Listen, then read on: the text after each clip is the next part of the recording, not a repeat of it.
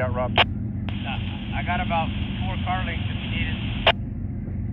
No, we need, uh, we need about six or seven auto racks from here. So we'll just, we'll just have to